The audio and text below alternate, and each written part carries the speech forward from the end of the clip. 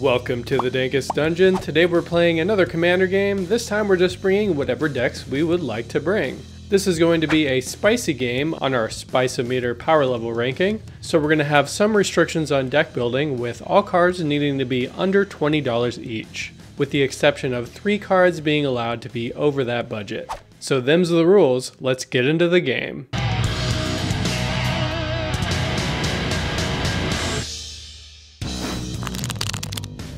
Hey, my name's Jason, and today I'm playing Aminatou the Fate Shifter.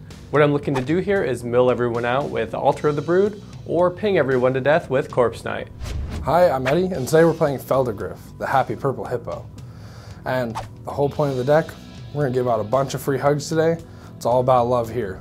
Hey everybody, it's Corbin. Today we are playing Mono Green Storm uh, with Jugan the Rising Star. Uh, whole point of the deck is to kill Jugan a million times because he's used to it and put all his counters on a, uh, we'll call him a Mana Chad like Marwyn or Viridian Joiner. Once you get oodles of mana, I don't know, you use some combo, win the game. If all else fails, I'll just cast Hurricane and kill everybody, so it'll be great.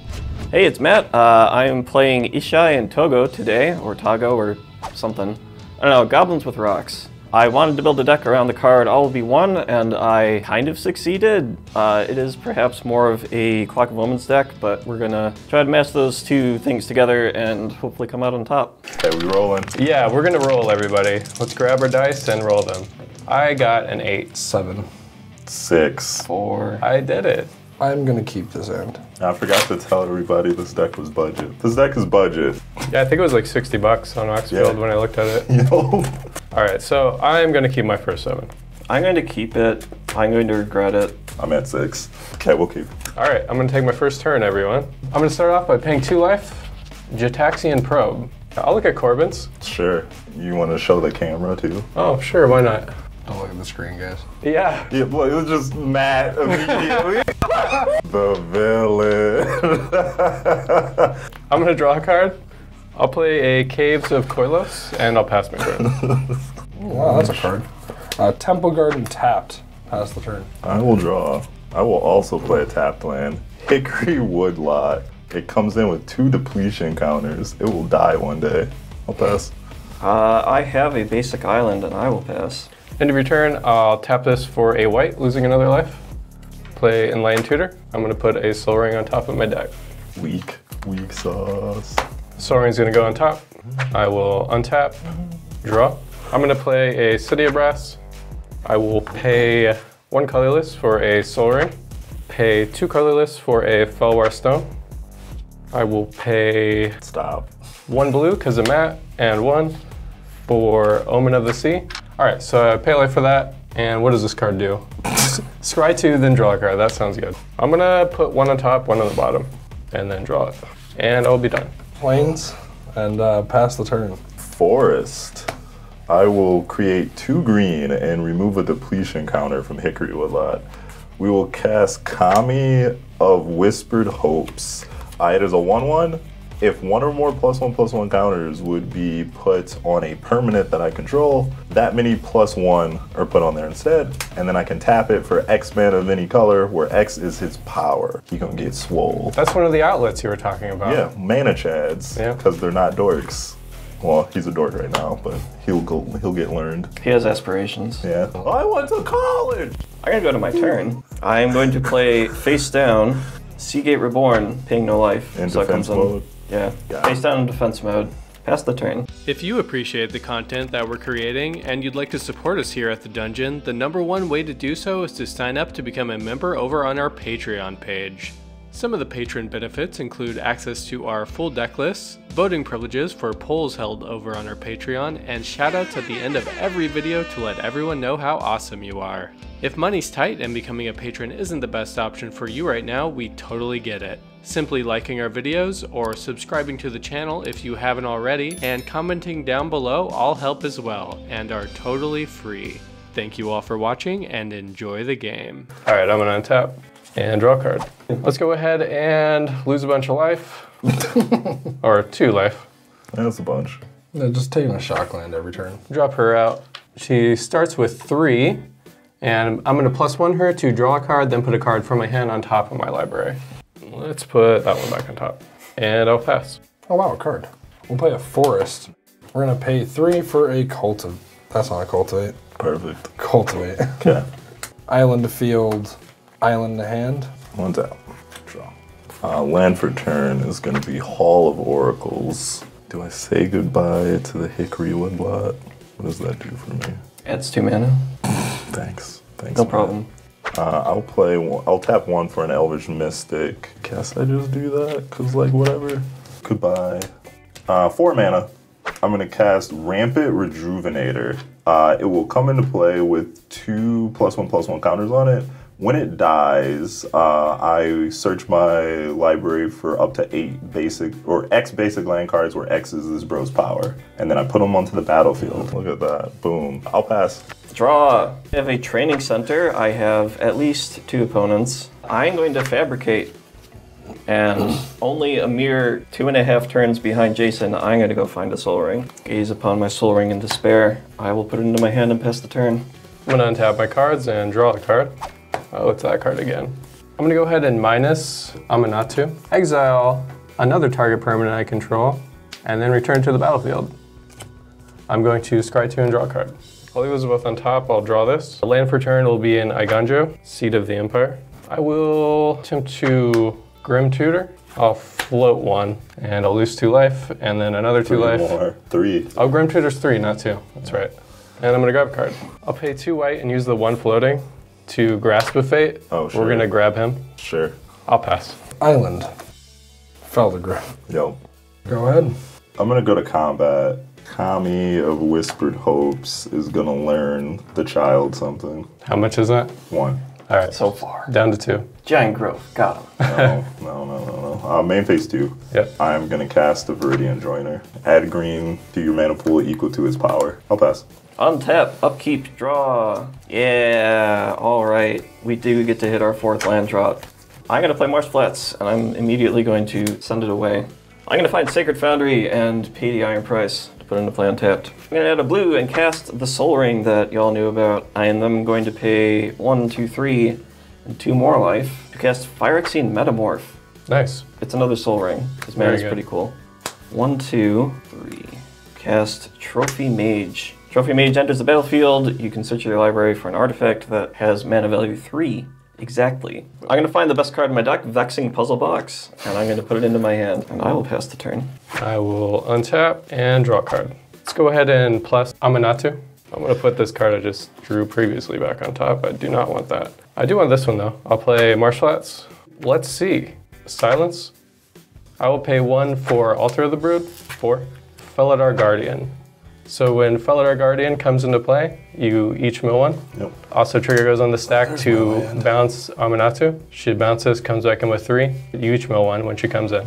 And then I will minus one to bounce Felidar Guardian, and I will repeat that until you guys are milled out. Did it work? Yeah. Did I win? Yeah. Oh, I won a game. That's neat. Let's go to game two. Yeah, we'll have to stop that. yeah. Well, that game was really short. What do you say we go ahead and play another? Is everybody ready? Yeah. Let's roll. I didn't Seven. Seven. Eleven. Four. Okay. You don't get to go last, man. Yeah. I appreciate you. So as you can see here, this camera pointed at Corbin and Matt decided to get a little wild with it this game. The original footage actually looked like this somehow, and I was able to clean it up to this. So hey, be grateful. It could be even worse. I will keep. Don't think I could keep this. Do I keep this one lander? Oh, I'm not keeping. I'm also gonna mulligan. Back. I'll keep. Yeah, I suppose this is fine. Um, yeah, I'll keep this. It's fine. Forest. Pass turn. Misty Rainforest. I'm gonna fetch and get the Triome. Uh, Rockring Triome, pass the turn. Okay. I'm gonna draw a card. Let's go ahead and start off again with Gitaxian Probe for two life. We'll target Matthew this time. Yeah. All right, no one look at the screen. This is Matt's hand, everyone. I forgot to swap that one out for the English version. Then I guess I'll play a land. Seems pretty good. I'm just gonna play a Watery Grave. Tap though. Oh, look at that. Forest. Everyone's favorite aviator. I don't Go. think that's a thing, but alright, I'll draw. Uh, two mana, Moss Diamond, tapped, and then I'll pass. I'll untap and draw for the turn. Cool. I have an exotic orchard. Look at all that exotic. Pass the turn. Untap my watery grave. Draw a card. Play a Sea of Clouds. Play a Talisman of Hierarchy. And I will pass my turn. Plains, Faber Welder. Neat. All the mana. Go ahead. Uh, He has a delay, everyone. I have a delay in my hand. Do I want to use that on that or do I want to save it for Aminatou? I can let you Oh, know now. I don't have intruder alarm. I don't care. You can have that later. Got delay. Okay. Uh, Forest into Rampant Rejuvenator. He's back. I'll pass. Untap. I draw. Land for turn is Academy Ruin. Taps for colorless. I can pay one and a blue and tap it. Put an artifact from my graveyard on top of my library. Pass the turn. Untap and draw. Play a City of Brass for turn. My exotic orchard thanks you for your service. Sure. A black or a dark ritual to add three black. And then I'll add three for Bolas's Citadel. Strong dislike. Should save that delay. You may look at the top card of your library at any time. You may play the top card of the library, and you can pay life to cast it equal to its uh, mana value instead of paying mana. Look at the top. I will pay two life for a Baleful Strix. When he enters the battlefield, I draw a card. He has Flying and Death Touch. He's a 1-1. Also an owl, which is pretty cool. Look at the top. All right, I'll leave that on top, and I'll pass. Play a forest.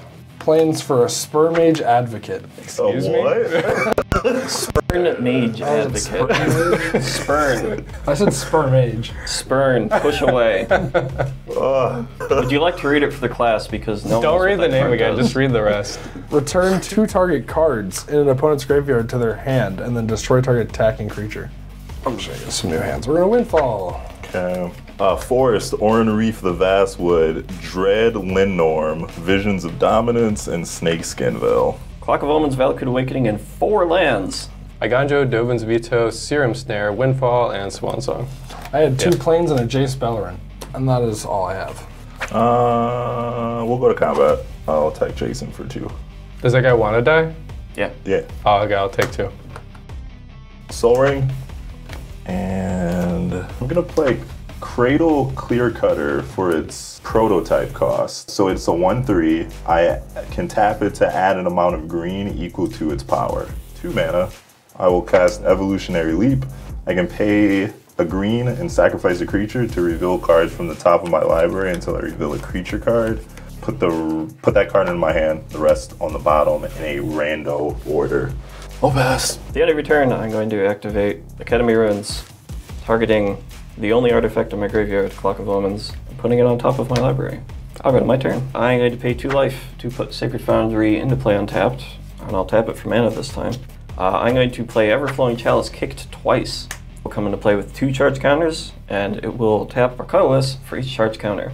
Speaking of tapping for two colorless, I'm going to tap it for two colorless, and I'm going to play Arcane Signet, and I'll oh. pass the turn. End of your turn. Yeah. I'm going to pay one life to cast Vampire Tutor. When I cast it, I will lose two more. This card will go on top, and I'll go to my turn. I will untap. I'll draw my first card. I will reveal Temporal Mastery. So it's the first card I drew this turn, so I could pay it for its miracle cost of one blue and one. I'll do that. So I'll take an extra turn after this one. I'll look at the top of my deck, pay two life for Omen of the Sea. I will scry two and draw one. One on top, one on the bottom. Pay one to Brainstorm. Draw three, put two back.